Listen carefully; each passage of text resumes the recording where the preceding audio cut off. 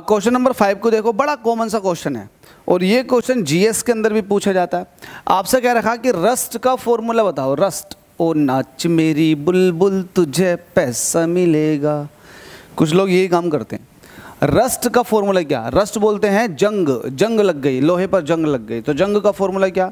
Actual लोहा होता है ऑक्सीजन सॉरी आयरन और जब ये ऑक्सीजन से रिएक्शन करता तो ये बना लेता है एफ़ टू ओ थ्री अब चूँकि ये नमी के अंदर रखा हुआ है तो पता नहीं नमी के मोलिक्यूल्स कितने हैं तो इसलिए हम लगा देते हैं एक्स मोलिक्यूल्स ऑफ़ एस तो ये जो फॉर्मूला है, ये जो डब्बे के अंदर आया, ये है रस्ट का फॉर्मूला किसका?